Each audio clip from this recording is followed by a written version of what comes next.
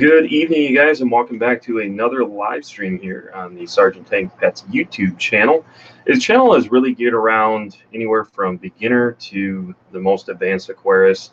Um, and anybody who's been following this channel for any period of time uh, can look back in the repertoire of videos and so forth that have been put out on this channel, uh, which some of them uh, do gear a little bit more towards um, intermediate to advanced, and there is some videos as well uh, that are out there for you guys uh, as far as beginners. I do have a few playlists uh, that I still need to go through and update. However, there is some playlists on the channel, so you can always feel free to check it out.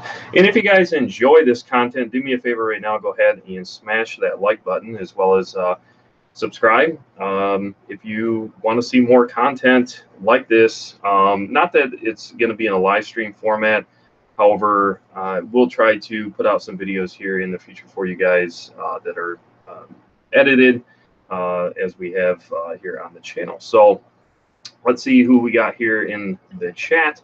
We got Charlie List. Hello. We got Dank Tanks. We got the Fish Life.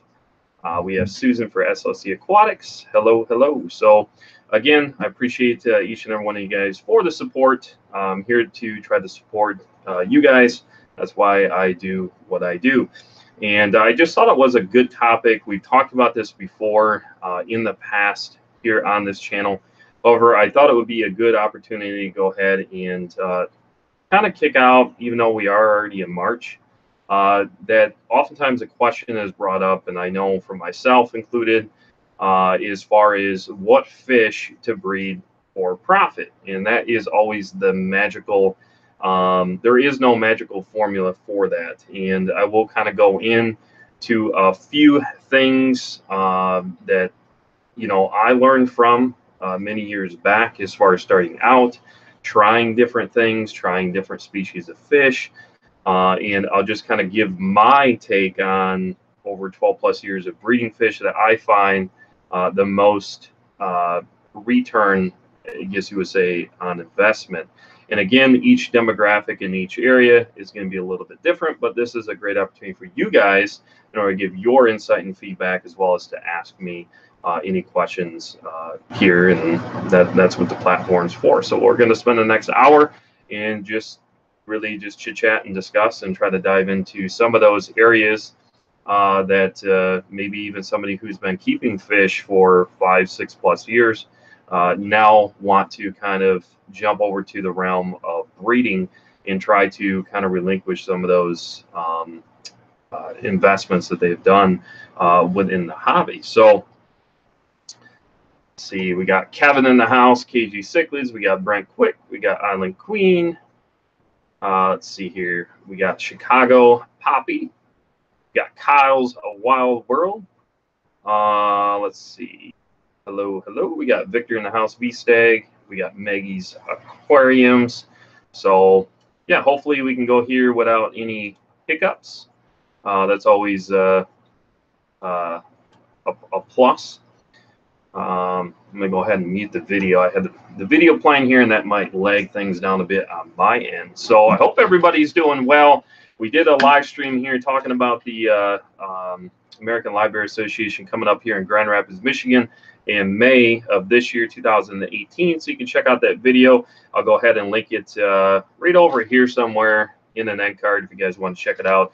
Um, more so for the individuals after uh, this has been uploaded to YouTube and if you're watching this on the replay. Uh, definitely, if you guys are in or around the Grand Rapids, Michigan area, I highly recommend uh, that you uh, at least look into the information, check it out. And if you're a live bear geek, as a lot of us are, uh, then you can definitely uh, find some some information there uh, for you. Uh, let's see here. So, without further ado, um, I'm going to take a drink here a second, and I'm just going to kind of look back.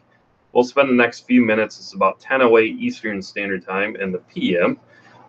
just kind of where I started and what battles I learned from and so forth. And really, I'm just going to focus on the aspects of breeding, not necessarily setting up the tanks. We can go through that uh, in a different live stream or a different video or something like that. You can always comment uh, after this is uploaded uh, you can always go ahead and comment. I'll give a little bit more detailed feedback on something if you're looking a little bit more specific out of the realm uh, as far as breeding fish for profit uh, per se.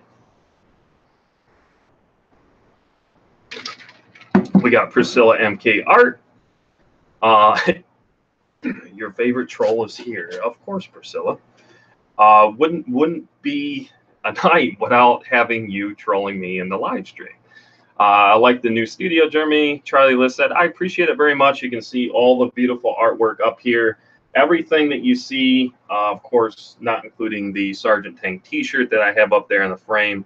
That was done, of course, through Lamont Mud, uh, as most of you guys are aware. And But all of these other um, pieces of artwork, including this one, and I just received the uh, cherry shrimp through uh, the Etsy store for uh, Priscilla MK Art. So you can definitely check it out.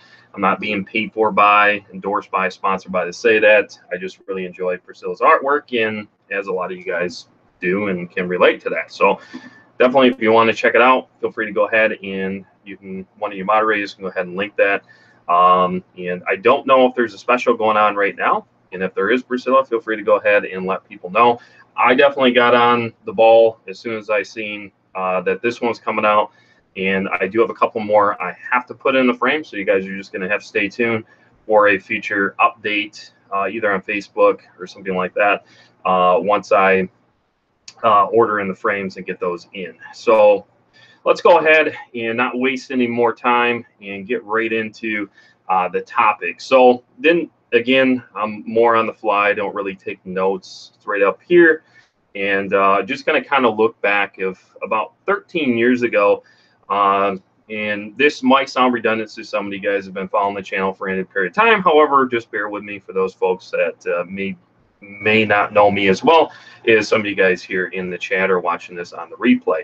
However, uh, over 13, almost 14 years ago now, uh, once we uh, got our home, purchased our home, moved in, uh, of course, it dates back. I got my first aquarium when I was about eight, nine years old from an uncle. Over there was a big lapse in time there as far as fish keeping, just because of work, uh, just because of life, starting a family, getting married, that type of thing. So, anyways, looking back about 13 plus years ago now, maybe 14 years ago, um, started getting interested in keeping shrimp. So back at that time, the EBI or EBI by Fluval uh, was a seven and a half gallon nano setup uh, that I ended up unfortunately breaking after I was resealing it. I knocked it off the stand that I had it on about a year and a half ago. And uh, I was resealing it to actually install it into my son's classroom at that time. It's almost two years ago now. And unfortunately, I, I shattered the whole thing. And with that being said, I went ahead and um, customized and did a whole different system at that time for the classroom. Uh, but getting back on track here, I started out with the Neocaridina davidi, which is um, just started out with your lower grade cherry shrimp. And what I did is I started selectively breeding uh, through uh, genetic lines and so forth to develop a better lineage of that specific shrimp. And uh, as time went on, um, just found the right placement, not only aesthetically that was pleasing, not only to my wife, but, you know, uh, our son was very, very young, didn't understand at that time uh, was just still uh, a toddler in diapers. And of course, it was pretty much my wife and I or friends or family came over to enjoy it. And what we did is up in our uh, family room area, we went ahead and put it right in front of uh, one of our main bay windows, uh, right on the south side of the home. Uh, of course, we have curtains and so forth, so we can kind of um, stop some of the um, kind of dilute some of the sun from coming in. So not only did it act eh, as a great way in order to introduce uh, beneficial uh, algae that I was looking for um, to really offer some good nutrient load and distribution there for the shrimp, uh, but also appropriate coloration because it balanced it out just appropriate at that time that I was looking for, not only for molting purposes, uh, but also for uh, coloration and just a lot of different stuff. I mean, natural sunlight when it comes to fish, shrimp, what have you, if it's done appropriately, I uh, don't really think you can get anything much better than that. That's why a lot of people enjoy doing ponds out outside because of the coloration and some of the uh, aspects that go along with it by getting that natural sunlight uh, within that aquarium. And um, just with all that being said, I started out with a group of uh, roughly eight to 10 at the time because they were not cheap. Uh, I got them through a local source, uh, through one of the local fish stores. And then at that time, uh, gave it about a month and a half, two months. And uh, as they started developing of age and going through the molting process, um, started noticing, of course, a bunch of shrimplets. Uh, which I got even more excited about, uh, you know, just because of my experience in fish keeping and so forth. Uh, it didn't, it, it wasn't too difficult for me in order to identify uh, the shrimplets if you know what to look for. However, I thought it was very comical at that time. Um, my wife could never seem to ever be able to identify. Uh, that's why, as most of us know in this hobby, especially with a darker background, uh, algae, you know, a Matten filter, sponge filter, something like that, uh, that isn't going to be like a transparent, you know, where you're pretty much going to see right through them. Something to block that in the background. So if it was dark or something of that nature, it was very easy to identify the shrimplets. And I really, really enjoyed um, because it was a different taste to start to get into something uh, in the realm of inverts that was different from that of which I was experienced with doing before. Um, and basically, the rest is history. Um, reason I'm sharing that is going to jump ahead now, uh, almost 14 years later, and now we have over roughly over 80 plus aquariums currently running. As most of you guys are aware, we also have uh, a lot of those different uh, species and specimens, and not only fish and inverts that we continue to update, which is on the Sergeant Tank website. Uh, you can definitely check it out down in the description below if you are interested. We are U.S. homebred, um, just a, a, a hobbyist that enjoys to breed and be able to offer those to you guys uh, at a reasonable rate where they're conditioned appropriately in order to adapt to your guys' water parameters with ease. Um, and now really what kicked it off from there is also breeding of course a lot of you guys might not be aware of this but besides shrimp is really what kicked it off for me um, but shrimp and Ancistrus plecos is i was really big uh, about 13 years ago about a year after now that that of starting the the shrimp tank uh, i started getting into community establish as far as community breeding. Uh, that could have been with uh, Pomacea mystery snails. It could be ram's horn snails. It could be other variations of snails. Uh, as most of you guys see now, truly that's what it comes down to is fine tuning a well-established aquarium in order to get the best return on investment. Profitability to me is, you know, most of us are just hobbyists. We're not a, a um, wholesale supplier, a business where our profit margins, uh, you know, of course, you're going to have to look at completely different. But being myself, being a complete just hobbyist that enjoys to do this uh, when I'm able and so forth, is be able to somewhat justify the means for this hobby. And then I started looking after shrimp, getting into Ancistrus plecos, um, and really shrimp and Ancistrus plecos have been my thing for the last 13 plus years that I've been breeding. Um, I can share with you guys some tips and tricks in order to get the best yield. Um, if that is something you guys want, let me know in the chat. I've talked about it before. I'm not going to spend a great deal of time on that uh, because I want to be able to offer some time for you guys in order to ask questions uh, for myself. That's a bit of a watered down version uh, very long story short, um, something I could go on and on and on about, as most of us can, uh, especially when it comes to breeding, because that really is what's near and dear to me. That keeps me driving forward in the hobby is the aspects of breeding. I really enjoy it. Um, I enjoy taking the time and the care and the attentiveness that goes along with the aspects of, of breeding. Um, so if my number one advisement, if somebody asked me right now, Jeremy, what is your number one go-to as far as a return on investment and or profitability standpoint, it will be your common cistrus, bushy nose plecos all day long.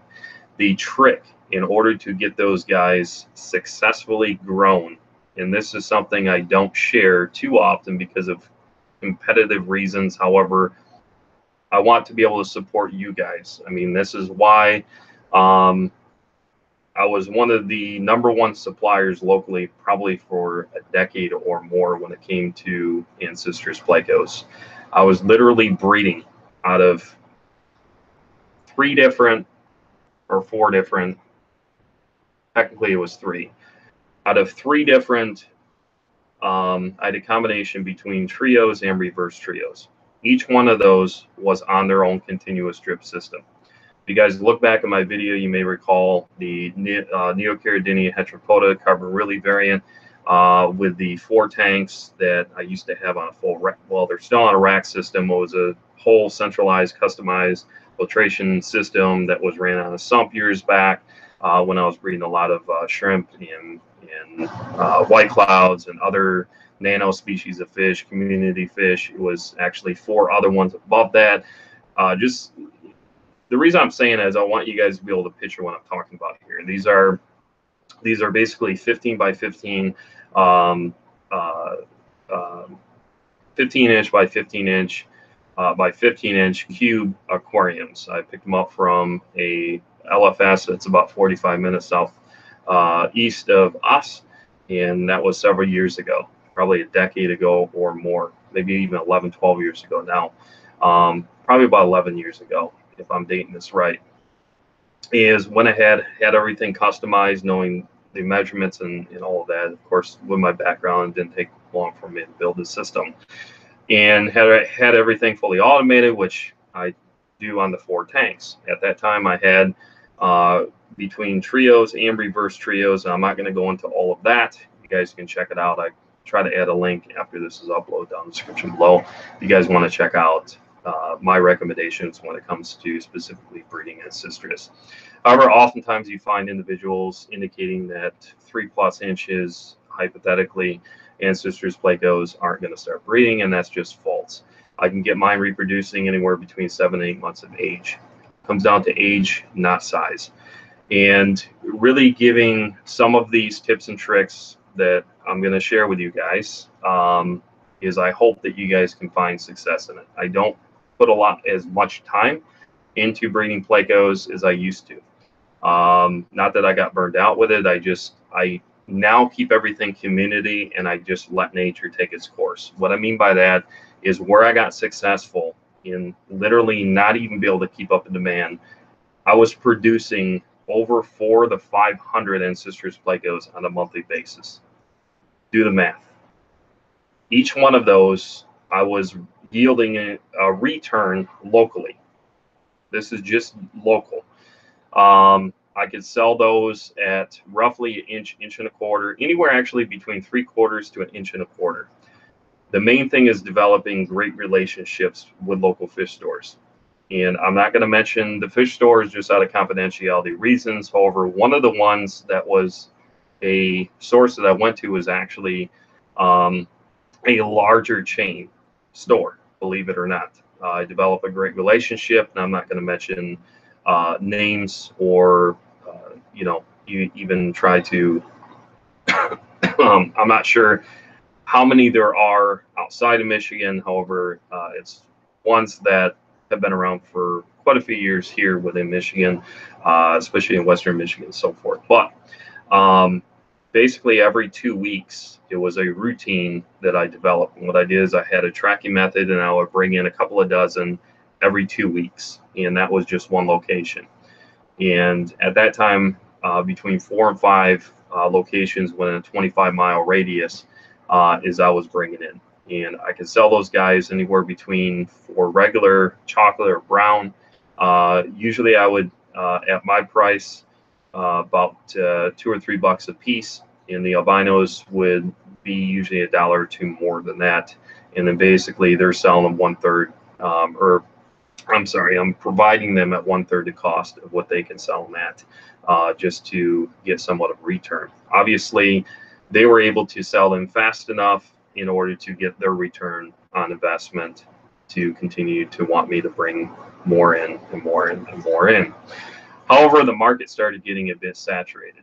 So then that's when I ventured out and started um, doing Aquabid, eBay, Craigslist. Uh, I was actually doing those things um, beforehand. However, I want to be able to support the local fish stores, and that wasn't cash. Keep in mind, is um, I wasn't doing this as far as uh, store trade because uh, through my suppliers, I, I try to support as much as I can. However, I can just go through my own supplier and obtain whatever dry goods or so forth that I need. Uh, however, majority, 95% of the time, it was strictly cash in hand basis and walk out the door. Uh, it wasn't like store credit. It wasn't worth it to me to do that. And I made that very clear up front. The most important thing is developing relationships, first and foremost, with your local fish stores. Uh, you're going to have to go through a, a, period of time to actually prove to them that you're capable of uh, not only providing good livestock, however, out of literally thousands of specimens throughout the years that I provided locally, um, never once did I have ever have one individual ever reach out to me and ever complain of deaths, disease, anything like that. So it took me over 12 years before I felt comfortable to actually start an online business to provide livestock throughout the United States. So you kind of see where I'm going with it. And I've talked about this before. Is spend a year and a half, two years just being a hobbyist before you even get into breeding. I'm telling you. Um, because there's a lot of stories I could share where I lost a ton, a ton of money, a ton of time, and a ton of stress by not listening to other individuals many years back that advised me. Um, there was other things that I've read that because I enjoy to do it, it was a waste of time and a waste of money. Um, so if you are truly doing this in order to get some type of yield or return on investment, you have to understand what's sustainable, how it grows, and be able to find the appropriate consumer for that. Um, but yeah, so that's kind of a uh, just a few minute kind of a background there. So now I want to head up to your guys' questions and uh, be able to give any insight that I may. So um, I'm going to scroll back up here in chat, try to see where I left off and I'm just going to quickly scan through. If I don't see anything that's directed towards me as far as a question, uh, then I'll go ahead and uh, just continue on. If I do miss anything, please, please put it back in the chat. Um, let's see here. Uh, Neo shrimp are like rain. They don't like change. Keep the parameters stable, and you should do well with uh, any somewhat normal parameters. Uh, consistency across the board is absolute key. Uh, Neocaridina, there's actually uh, pH levels and so forth too that you can fine tune, believe it or not, pH, um, or not pH, I'm sorry, nitrate levels actually have a contributor in uh, that I have found in 13, 14 years of breeding. Um, but yeah, so I do plan on doing more videos. Um, not so much videos. I plan on doing a blog on the website or some sort of article system that I can provide to you guys. I do have that option. It's just very, very time consuming. Um, and right now, I don't know when that's going to come out. So I'm just trying to take notes here and there. And a lot of it's going off memory. Uh, some of these things I don't even read that I used to, but I would like to provide some type of literature that's somewhat relevant in order to try to help and sustain your guys' hobby. Let's see. We got Captain Spicy. Very nice seeing you again, buddy. It's been a while. Let's see here. Just bear with me, guys. Uh, we got Kyle's Wild World. We got Joel House. Uh, we got Caleb in the house. Caleb Hannah said only half the likes of people watching. see here. Dropping the goodies at Sergeant Tank website. Appreciate it very much. We got Buster Maston. Uh, who is Jerome? Kyle's Wild World. Um, that is a name back in my old profession, a nickname that was given to me. That's all I'm gonna say. I was a different. It was a different time, a different era, and I was a different person. Uh, let's see here. Confidentiality, that's a strong word. Yes, I have a lot of a lot of things in my background that I need to be careful and confidential about outside of fish keeping. Um, let's see. We got Gina Tucker, we got Fish Tropic. Uh, I think I said happy fish guy. How you doing, Dan? Uh, we got Eric B.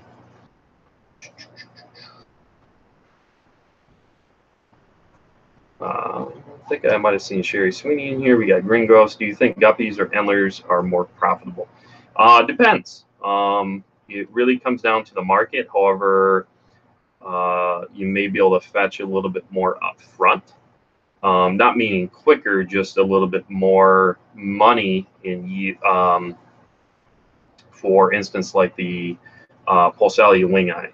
Uh, some people call them a black bar endler. There's different N class variants. There's different variations of those. However, with that being said, you have like your uh, your you have your uh, blue star endlers, your rainbow endlers. The, the list goes on. Um, I myself enjoy those type of endlers over like uh, Poecilia reticulata variants, um, species of your guppies, uh, that type of thing. But it really comes down to a market. So really don't look at what uh, is difficult or what's trying to trying to phrase this the appropriate way where it makes sense.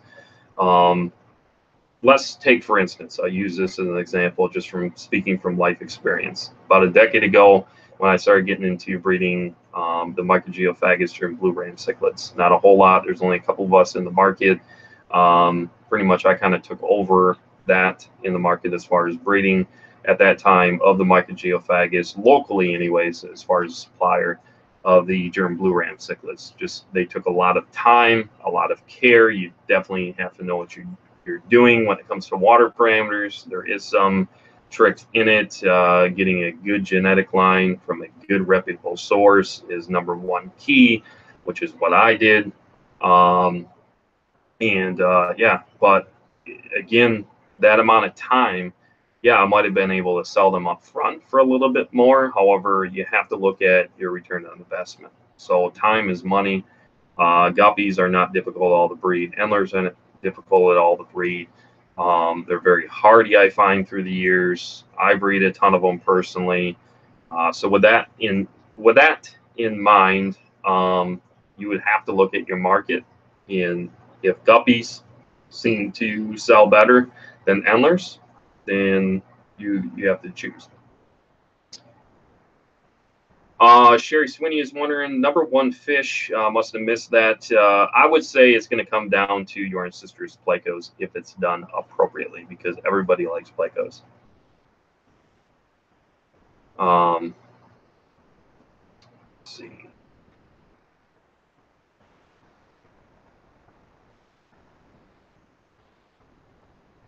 Uh, we got a cram cop in the house. Cool sign, he said. Well, thank you.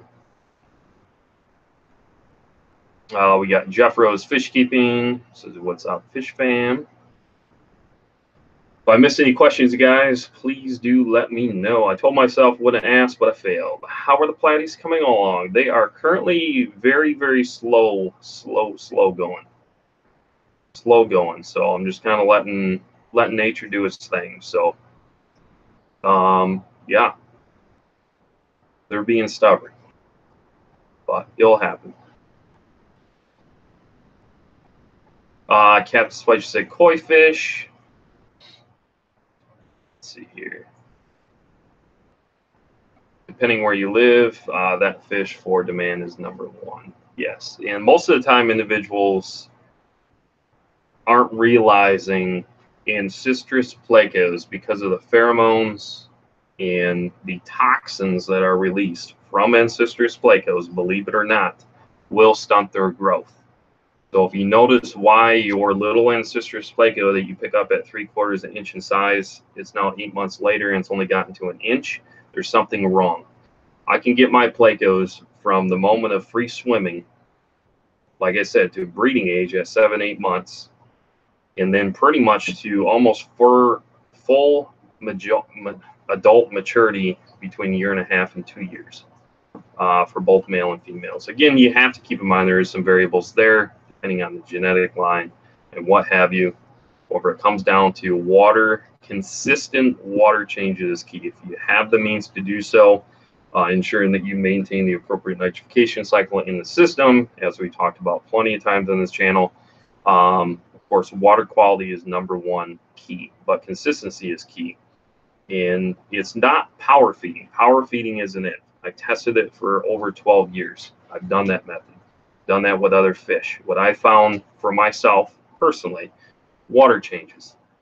Is what I did is I have one system set up with doing as I'm addressing with you, and I had another system set up where I was doing not consistent water changes where it was on a continuous drip. And guess what? The one that I had on a consistent drip, that same yield of spawn, I had in tank A versus tank B, the one that was on a consistent drip system, was the one that was growing 10 times as fast uh, versus that. So that's why I validated and proven the theory and the basis behind pheromones and toxins released by certain plecos, specifically with Ancistrus. I had to concede to the fact that it was valid. Um, let's see here. Uh, Captain Spice says saltwater fish. Um, play some uh, Cinemax for the for the platted tank. Yeah. Uh, serious question: Are you my what? Um, uh, beautiful art are your on your walls. Nice job, Priscilla. I have to agree. Aquarium cop. Uh, did you glue them rocks onto the shelf behind you? Uh, you talking about this right here? Uh, those aren't rocks. These are, if that's what you're talking about, those are shells and pieces of driftwood that uh, were given to us. Those you can pick up. This is something that you would find at like a Home Goods, TJ Maxx, that type of thing.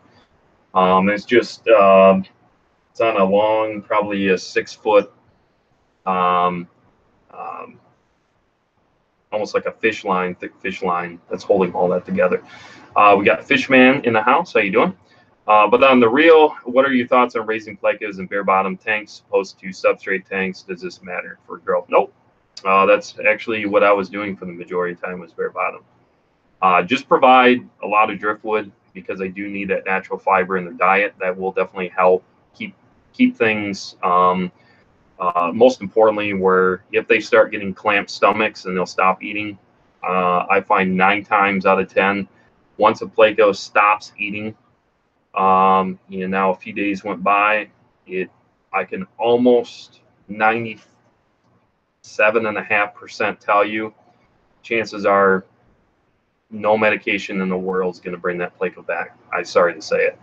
Um, I've dealt with a lot of diseases over the years. However, just some of those things happen. Um, plecos get very, very finicky, especially when they're changing environments and adapting to other environments.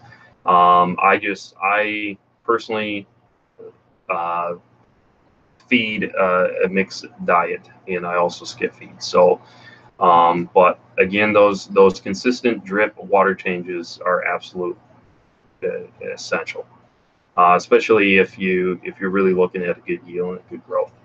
Um, and that's just that's just uh, rearing of the the swan. I'm not even going into the aspects of actually getting them, promoting, inhibiting some of those. And I'm not going to go into that here because I've done a lot of videos on it.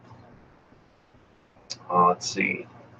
Uh, most wild caught plecos come in with some um, no bellies, and most are sunken. Yep.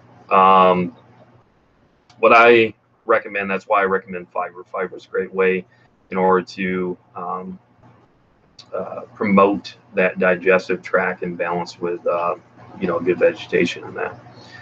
So that's why I say if you're going to keep a bare bottom, uh, ensure that there's natural mulch and biofilm built up at some way in there because they are always always grazing, they're always eating, they're always chomping on things. Uh, let's see here. Have you ever tried Fluval Bug Bites Pleco Formula? Um, I haven't uh, tried the Fluval Bug Bites yet. Uh, I do plan on trying that at some point in the future. Uh, Eric B is wondering if I use uh, Repashy. Yes, I am completely against using Repashy. Um, I think that my not not that I'm downing. Don't get me wrong. Um, I'm all about the company. I'm all about Repashy. I'm just biased against it, and I'm not even going to go into it. My fish were too dang spoiled in Plecos to eat it.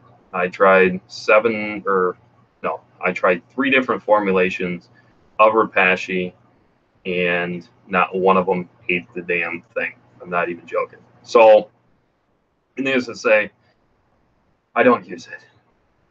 Irritated me. Uh, it's supposed to have what it's ever everything like it needs. Uh, yeah, I just don't. I mean, to justify the way I look at it is, and I say this over and over and over again. I always give a ton of credit to veteran aquarist. Yeah, I've been doing this for over 13 years. Um, do I consider myself a veteran in the hobby? No. Uh, we're all developing. It doesn't matter if you've been in it. I've talked to individuals who've been doing this for 50, 60 years, and there's things I've addressed with them that I've learned and developed certain techniques that we can always share with one another. So, uh, really, it comes down to your attentiveness uh, individually and, and just understanding what works and what don't, and what is relevant, I guess you would say. Uh, spending ridiculous amounts of money on certain foods just isn't justified to me. If I can provide more natural means uh, of vegetation and proteins and so forth, then I usually will go that route. Um, think about it this way. How have hobbyists been doing it for 60, 70 years so, so successfully before any of those products ever came out on the market? Um, I, I don't know. I'm just, I'm a huge advocate for veteran aquarists that have been in this hobby for, you know, over 40, 50 years. And simplicity is absolute key. I've talked about that before. If you're watching this in the replay, feel free to check back in my Reptor videos uh, where I talked about really simplifying the hobby. Um, and, uh, you know, again, what works for me may not work for somebody else and vice versa. But yeah, just to clarify, I don't have anything against Repashy. I just don't personally. Uh, let's see. Repashy is a trigger word around these parts.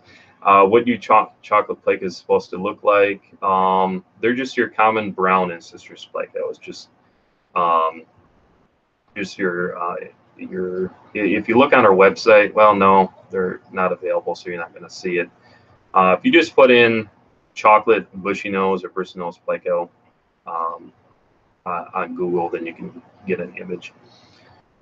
Uh, let's see.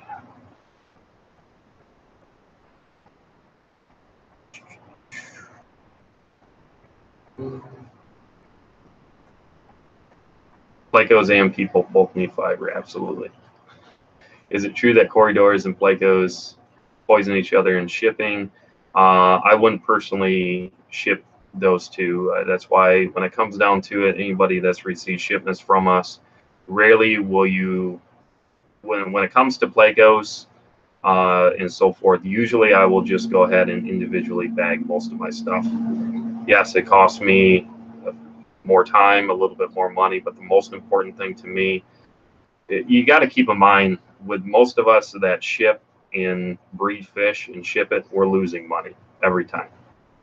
Um, it, it's just to me, I enjoy to do it. You really have to have a passion to do it. As soon as I lose that drive and that passion, then I'm gonna stop shipping because that's when we mess up and do something wrong. But Uh, it is very well possible. Yes, I, I just I wouldn't ever recommend uh, putting uh, you know multiple plecos in one bag together just because of their barbs um, and toxins and so forth. I mean, for a lot of different reasons. Let's see. Uh, I like antioxidants, natural disease relief where I can get it. Uh, he doesn't have anything against Repashy, he just hates them. uh, let's see.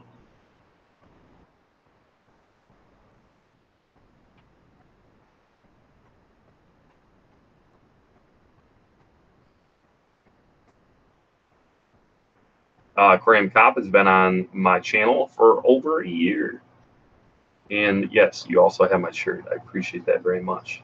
And speaking of shirts, we do have them on special as well. So I think they're two or three bucks off.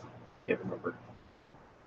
Uh, he streams when I'm normally normally sleeping. Yeah, I haven't been uh, live streaming for for quite a bit. So quite a bit. I did do one. The only reason I did the live stream on Sunday was to give an update for the ACA. Um, I ACA. What am I talking about? Not the American Cichlid Association. Come on, Jeremy. The ALA, the American Livebearer Association. Uh, Dank Tank said, man, I got the shirt and towel. Boom. Yes, you did, sir. It's probably after, what, a week or two of being, once we first started the website. Uh, Jamie McDonald said, shirts, is there a link? Uh, go right to the website, Jamie uh, sergeanttank.com. Not sure. We are limited. The reason that they are on special is um, I'm trying to purge through that inventory so I can then take those funds and then purchase a whole new order, which is probably going to fetch me almost a thousand dollars, which I'm not looking forward to. So just keep in mind, I've we as a family um, we gave probably last year in 2017 through just helping out other channels as far as promotions, through giving away. I don't even know exactly. Um, I probably gave away 40 or 50 shirts.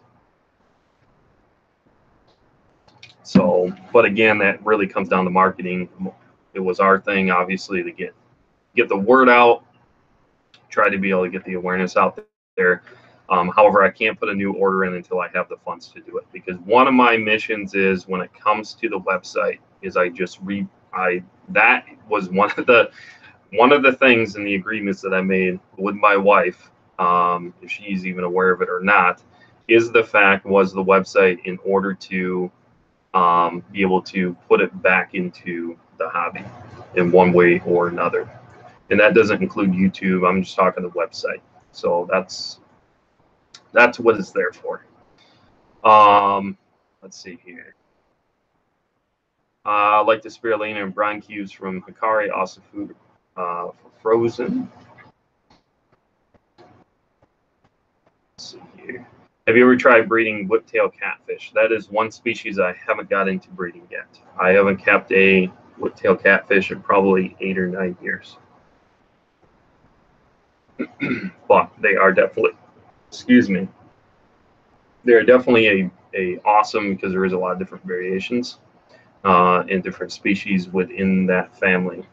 Um, one individual I would recommend checking out um, is Jeremy Bosch. Check him out at uh, AmazonTropics.com. And I did do a fish room tour of him. Uh, Rob from Flip Aquatics also did, and Cory McElroy from Aquarium Co-op. So you can check them out. The one that I focused on was the killifish specifically. Those guys put out videos of the rest of the fish room, and he did show off a lot of those different um, um, and stuff like that. Uh, do you think discus is still profitable? Um, I got away from the discus thing. I never even got into breeding it. Um, you know, I, I never really got into it. Discus just aren't appealing to me. Uh, I picked up the discus. I thought my wife would enjoy them. And of course, you know, they just, yeah, really not into it. Probably because they've been around it for so many years now. Uh, we'll be married 14 years August. So, I mean, yeah, when you're around something for so many years, she's got her interests, I got mine. I just kind of do my thing, but yeah, I uh, I don't. I'm just not a huge fan. They just don't appeal to me personally. Um, let's see here. Uh, Jamie said it seems like the XLs are sold out. Yes, Jamie, just give me some time. Uh, once I uh, get the new order, uh, again, you guys got to keep in mind, any of you guys that might not be aware, I go through a local printing company, so that's why it is a bit more costly. They're very high end, high quality shirts. They're 50 50, 50% polyester, 50% cotton. So I wanted to set a new stage within the community, within the fish fam, to represent right off the bat one of the best quality shirts. Um, not to my own horn, however, the logo is pretty badass if you don't ask me. Um, and I'm not being biased on that. However, I had a great, uh, great artist to do it. Have you ever done rainbow fish eggs before? If so, uh, do you have success? Yes, I breed the uh, Melanotaenia ruba rividiata um, and I don't find them any more difficult than really any other um, egg layer. Uh, I really apply the same tactics. If, if you want a little bit more fuzzy fish on my recommendations on doing that is check out the video that I did uh, on breeding of your orange tail killifish. A lot of the same aspects to that uh, is is almost almost straight across the board. Uh, Jeremy ever keep checker barbs? I don't really. I haven't got into the barbs. Um, I'm afraid there's a lot of great sources here locally uh, that breed barbs and have done it for years, and um, that's why I don't do a whole lot with barbs. However, I have great sources if I ever need them.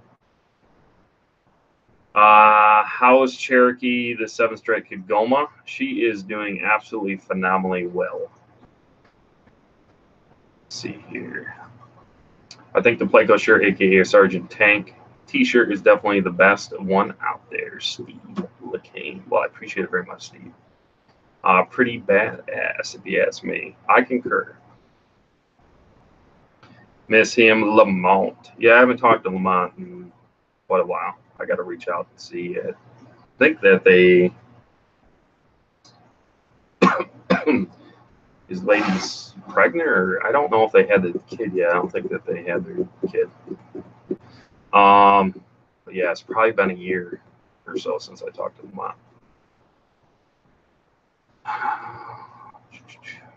Will you do a mom sandwich challenge, KG? Uh, Steve is wondering. All right, that's that's even that's even pushing it. Ugh. Yeah. I don't know about that.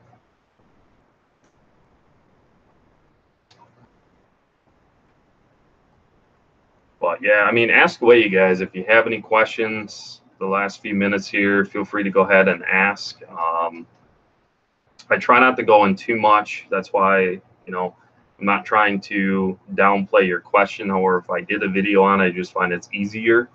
Uh, since I did the video, obviously, in the first place, I most likely will refer you to that video. Uh, but if you would like me to elaborate on something, or if you have a question, then please do ask. Uh, how do you raise bloodworms? That's something Fish Tropic I haven't personally done. I've, I've culturized um, like blackworms before, but not bloodworms. Um, let's see.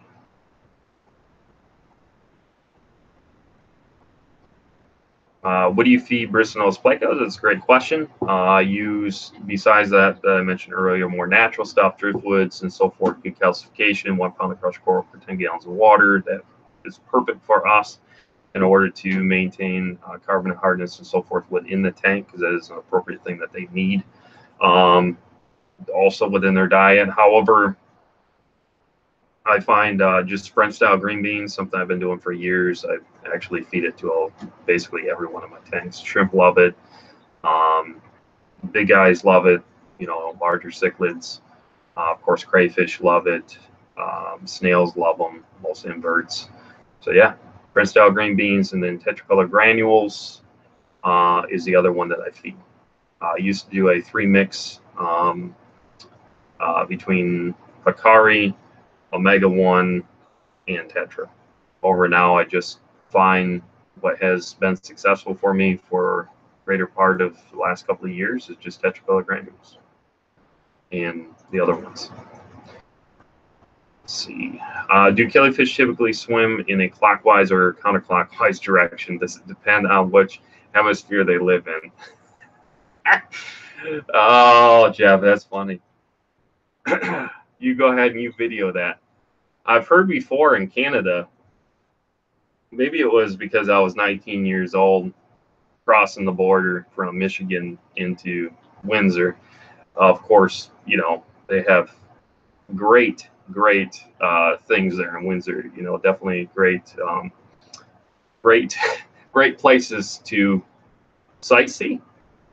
Um, is my buddy and I noticed that there was a uh, counterclockwise direction uh, as far as the the flow of the toilet being discharged. But yeah. Uh, although I made a mistake of feeding three week old green beans and lo- lost a few guys due to it. Although I made the mistake of feeding three week old green beans and lost a few guys to it. Yeah, you just got to give it some time. Uh, uh, just bought a six inch koi today. Pretty sweet pattern, KG said. Good to know. Uh, how do you tell if the green beans are bad? Um, the you probably want to look at. Obviously, I just recommend canned French style green beans, the ones I personally recommend that I found no issues with.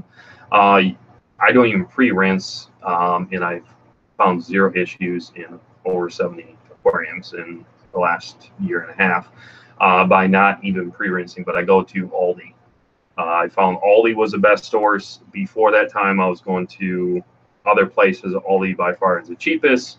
They have the quick, you don't even have to even use a can opener. Has a tab, pull tab part on it now. You can pop it off. So um, I personally recommend Aldi. Most of you guys are going to have an Aldi around you. And uh, yeah, you can pick them up there. I want to say, I don't know, 40, 40 cents a can, 50 cents, something like that. So um, but yeah, I mean, if you are worried about um, uh, salt and so forth on there, then you can always just, as a precautionary, you can pre-rinse it. Let's see.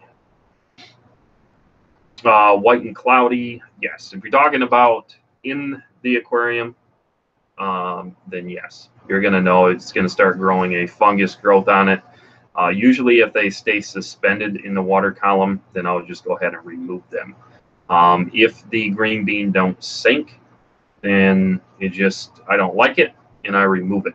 I found mo- most oftentimes, um, uh, as long as they're sinking and going towards the bottom, I don't have any issues with it at all.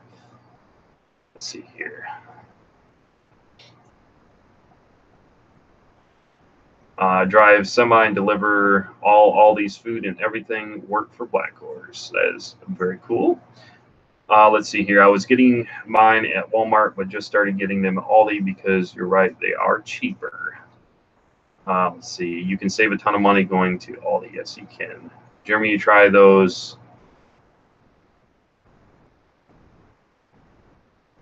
I'm gonna butcher. Is it brioche is that the buns? Talking about Aldi? I'm not sure what you're talking about. Um, Aldi is a German version of Walmart.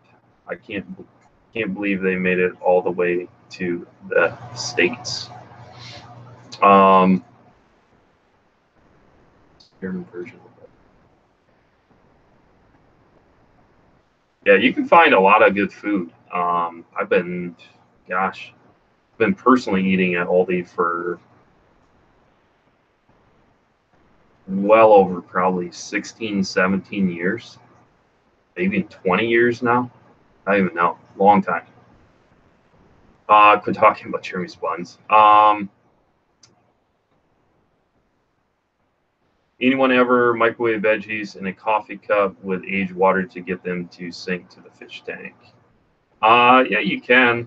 Uh, if you're if you're talking about fresh produce, uh, then I would typically boil it. But I'm trying to think if I've ever done it in the microwave. I think I've always just boiled it, just because. Uh, pork chops are good quality too. Uh, if I'm going to go somewhere and get meat, um, I would go to, I, I find uh, Family Fare is always going to have the best meat. Um, I know that the USDA, um, the the high quality steaks at Walmart are supposed to be um, the sirloin cut are supposed to be high quality. However, I've, I've tried about. I used to do a lot of cooking and a lot of grilling. I don't do a lot of that anymore. I used to enjoy doing it. Um, but I used to get my uh, fresh chicken uh, or uh, like chicken breast or my steaks or um, pork or something like that. Uh, I would get at Family Fare. I just always enjoyed uh, their meat for some reason over other places. Uh, Priscilla said, Dan bro, you're almost at 3K. It's a very slow process. It's taken uh, a long time to get there, but hey, I'm not trying to sound. I had somebody ask me. Uh, I'm not going to mention names, um, but this was when we first hit 1K.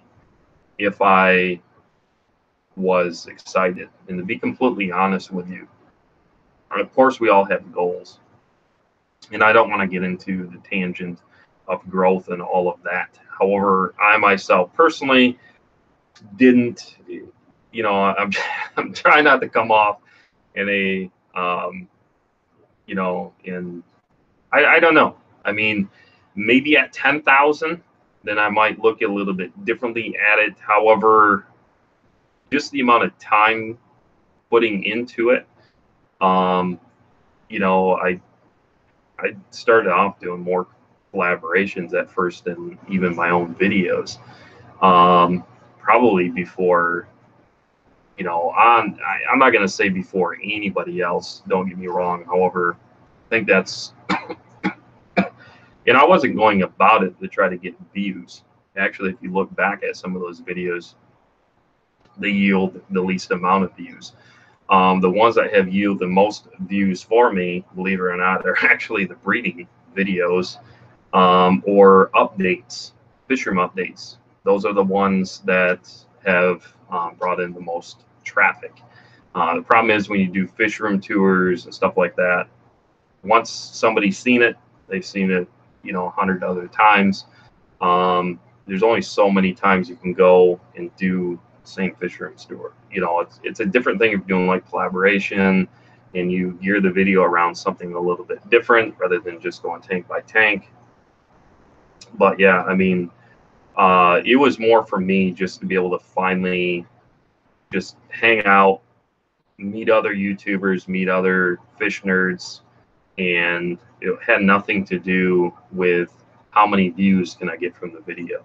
I still don't look at YouTube as like you know that's why i always say organic. I'm not obviously making million dollar thumbnails to try to drive in traffic. I'm not clickbaiting to try to bring in traffic um, i'm not even at my suggestive features i'm not even looking i understand how to grow it i've done enough research all i have is time throughout the day being a stay-at-home dad now for several years besides the little one if I really wanted to. So I mean, I could be I could be doing a lot more in order to obtain more knowledge behind it. Because um, that's one thing that most people know me for is anybody knows me personally since I was younger is I'm one that does research, lots and lots of research. Um, however, now I just want to enjoy the hobby. And I want to, I like coming on here and just chit chat with you guys and hanging out. I miss doing it. I miss hanging out with you guys. Uh, it's one thing that we've done, what, over a year now.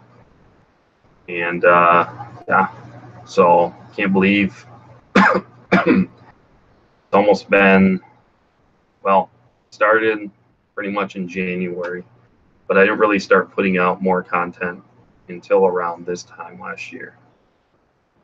Might even been more like, yeah, it's about this time last year.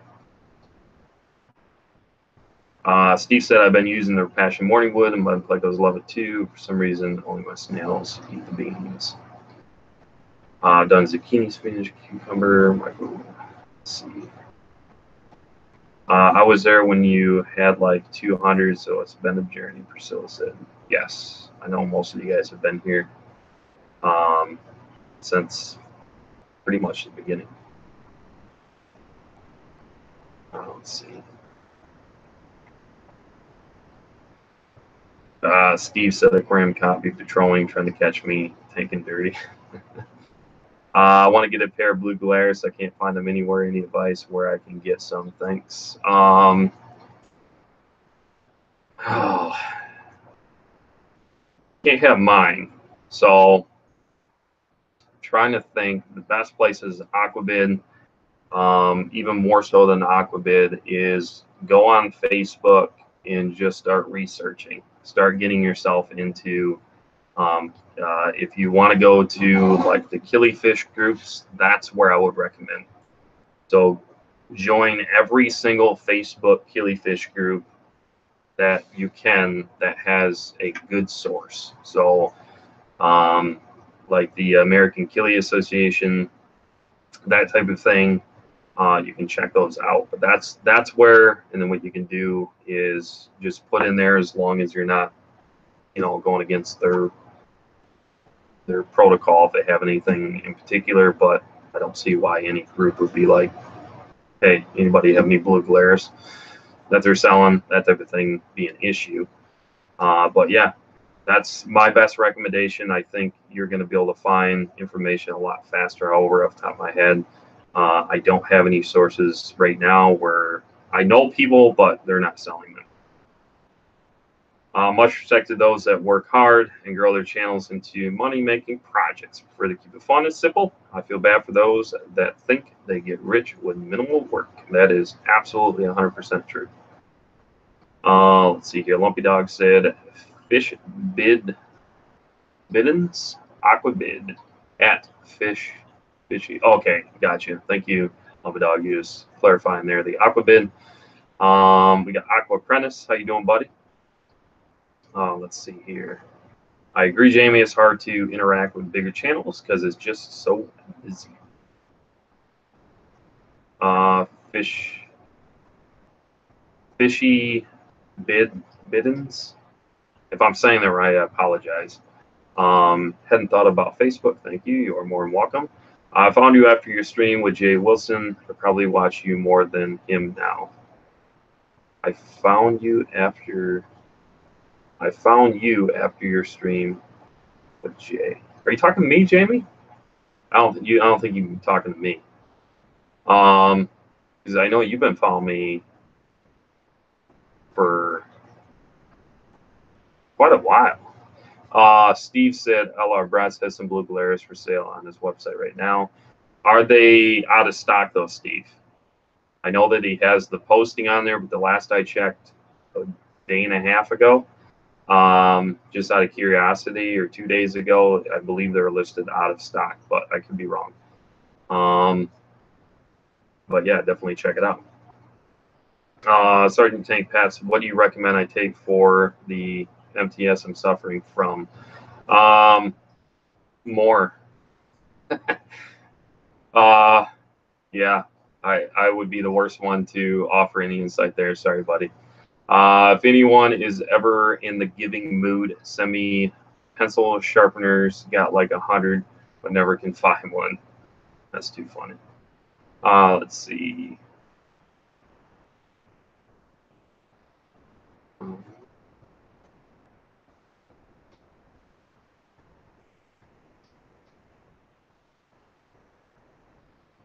but yeah, so you can definitely check with Lucas. Um, you can always send him a message, but is by far uh, are, are one of my favorite strains.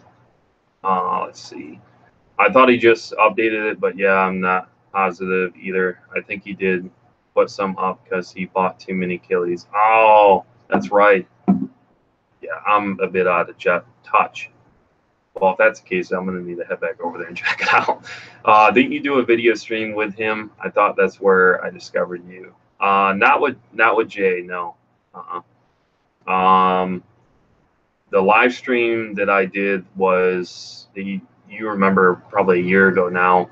Um, uh, it was around the 15th ish of March. Was with Lucas from LRB Aquatics and uh, Robin Amanda uh, from Flip Aquatics.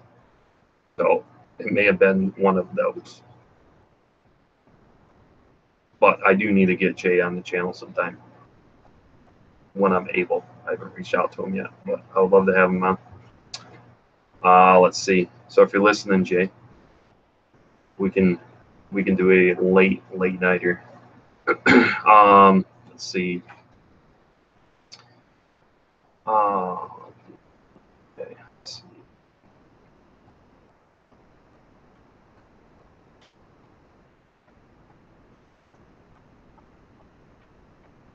see. Uh, Green Ghost, LFB is cool, but 200 tanks and nothing ever in stock. Uh, let's see here. Jamie said must have been Lucas. Uh, Lumpy Dog. Matterhorn sounds like a Swiss thing. Of course, is expensive. It better be able to make me a sandwich with that price tag. Laugh out loud. That's actually where I saw them first on Lucas's YouTube. Then I watched Sergeant Tanks for more info. Yeah, Lucas has got a lot of great info on killifish for sure. So you can always check out. He's done a lot of videos on how to breed and stuff like that.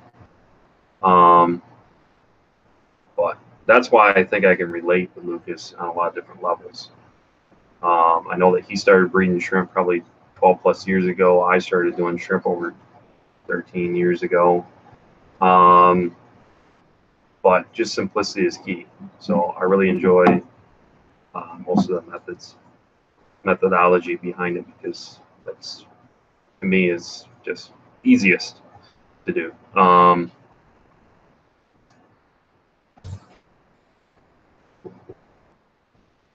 Graham Cop said he fills pre-orders. I'm sure with the Patreon and stuff like that, that may be going on. I can't speak on behalf of Lucas. I don't know, but I would suspect maybe with Patreon, if you're focusing on that, maybe from a business standpoint, uh, that could definitely be one of those things, just to be fair. Um, but I don't know. Uh, so I got here late, so I'm assuming killifish is the recommended fish for profit. Aquaprentis, no, no, no, no, not killifish for profit. Um, you can check back Aquaprentis, however, real quick, um, without going through all the details. Uh, my recommendation is your common Ancistrus, bushy nose pleco. Uh, Priscilla clarified, yeah, he posts first on Patreon what he has. There you go. So I guess if you're of interest in wanting Lucas's fish for the investment of a dollar a month, I'm sure that may get you on the radar. I don't know. Just saying. Um, but yeah. Uh, I've always got everything ever ordered from Lucas a request in advance because he sells out fast. Uh, how do you get scuds in your tank and maintain the colony in there for a natural food source?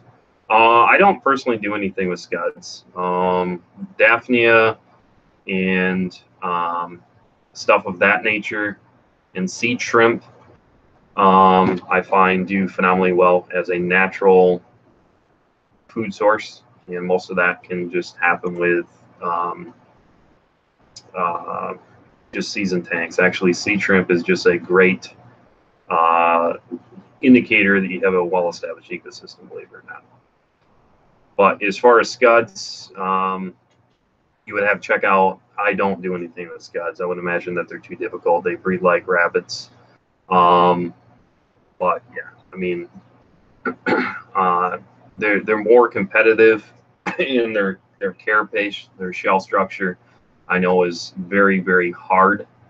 Um, but yeah, um, I, I, just don't want them in any, any of my tanks just because of um, uh, out competing in food and that and that. Anytime I found them in my tank, usually coming in on a plant or something like that, um, I'll just remove them right away because I got enough going on making the system. I don't want scuds.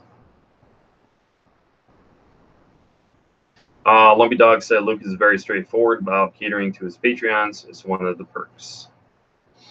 Uh, can you put Daphnia in the tank? Can you put Daphnia in the tank? With scuds? Is that what you're saying? Sure. Um, uh, KG said Daphnia does well in green water. Yep. Absolutely. Um, what I'm excited about is uh, summer coming around here in Michigan because I love, love, love culturing um, mosquito larvae. One of the most exciting things I'm looking forward to as far as so when it comes to outdoor ponds, I've done that. Um, I got enough aquariums going on indoors. I don't really care about outdoors. The only thing I'm going to do outdoors, I plan on this year, is just um, mosquito larvae. Uh, absolutely love it. The fish love it. It's a great, great source of proteins and nutrients. And if you want to trigger um, your fish to start breeding, uh, do those. They love them. Uh, I did a video on it if you want to check it out. Just make sure you maintain it. Don't let it get out of control. It's it's going to be the worst thing that you ever started. Uh, what's the easiest way to make green water? I the way I've done it in the past, I don't really do any green water anymore uh, either outdoors or right by like a main bay window, south side window, something like that, where you're getting a lot of natural sunlight. Um, that that's what I recommend. That's that's exactly what I used to do with my shrimp. So um, when I started 13 years ago or whatever, doing the just your davidi cherry shrimp, um, kept them in the window. I just they, they naturally ate off from that all day long. Uh, I always had a constant food source, so rarely did I ever have to supplement um, at all. Uh, let's see.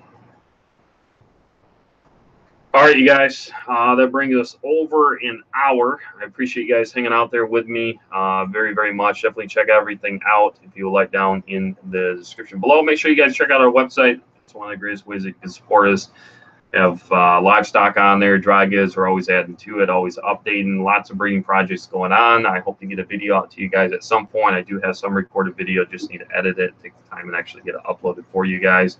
Again, I appreciate you guys hanging out on this impromptu live stream here on Wednesday. Oh, March the 8th 2018. Make sure you guys check out the American Livebearer Association information uh, in the video that I just did on Sunday. So with that being said, you guys always stay encouraged. Keep on keeping on. Happy fishing. And with that being said, we're going to talk to you right back here on the next one.